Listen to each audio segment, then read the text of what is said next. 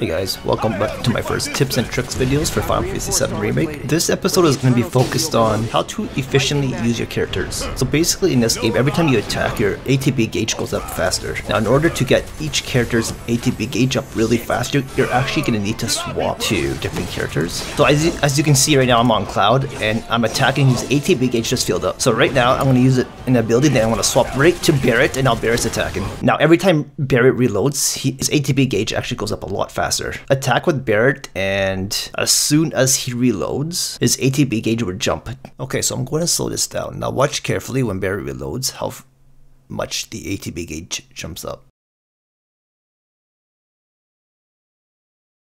Use one of Barret's abilities, either an ability or a spell, depending on whether you want to use MP or not and then switch back to Cloud. Now with Cloud attacking, uh, his ATB gauge is starting to go up really fast, so I'm going to start attacking and I'm switching right back to Barret again because Barret's ATB gauge was filled up, was filling up before, was ahead of Cloud's ATB gauge, and then I swap back again. And just like that, you see how fast you can kill enemies by doing this. This is the best way to micromanage your characters, especially once we get a third party member.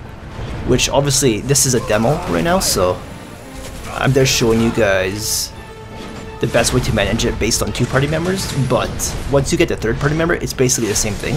You're just gonna have to switch to a third party member, or you can switch back to the to a different party member, depending on which ATB gauge is higher, as well as taking note of the boss's weaknesses. And that's gonna conclude this guide. I will see you guys in the next one. Thank you for watching.